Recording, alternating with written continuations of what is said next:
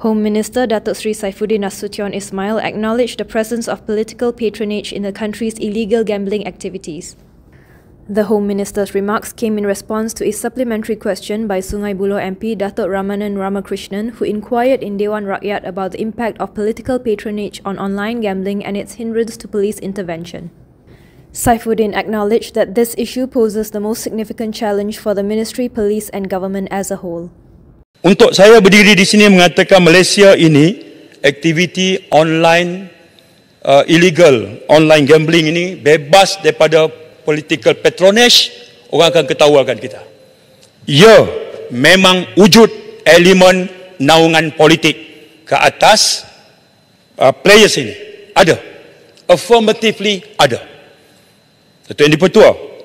Dari situlah datang influence dan protection. Dari situlah datang corruption and bribery. Dari situlah wujudnya tipis political will untuk mengadakan dan membaharui tekad untuk memerangi perkara ini habis-habisan. Jadi pusingan dia adalah players dinaungi dan dia membalas dia punya political master. Political master melindungi dia supaya tindakan tak diambil. Contoh. Maklumat dibocorkan. Contoh. Polis faham sungguh-sungguh tentang pattern ini.